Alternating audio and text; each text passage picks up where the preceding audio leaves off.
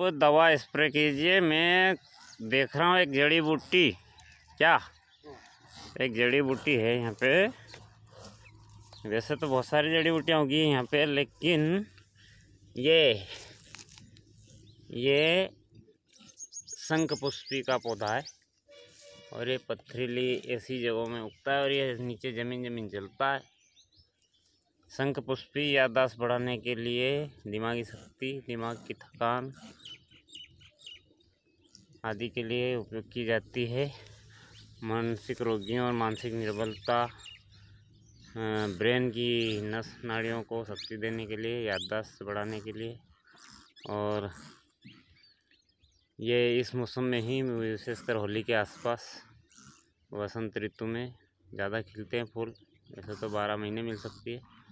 और ये शंखपुष्पी सायरप शंखपुष्पी का जो ब्राह्मी बच्चा के साथ चूर्ण वगैरह मिलते हैं। तो ये जड़ी बूटी मैंने आपको दिखाई है हमारे दूध तलाई परिसर सिमरोल के